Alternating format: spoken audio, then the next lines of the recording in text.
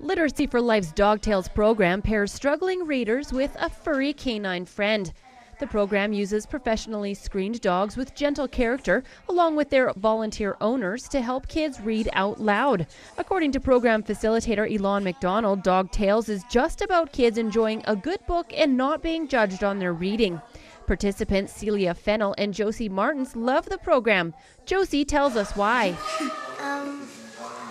I get kind of scared to read in front of my teacher. I don't really know why, but and I feel more comfortable reading to a dog than reading to a teacher. It's fun reading to dogs. Uh, and I'm saying thank you to the people because if we get stuck on a word, they'll help us, and if we have a funny word, they'll laugh with us. The Dog Tales program runs every Monday at the High River Library, Tuesdays at the Sheep River Library, and Wednesdays in Okotoks. If you would like to find out more about the program, how you can volunteer, or register your child to participate, visit litforlife.com.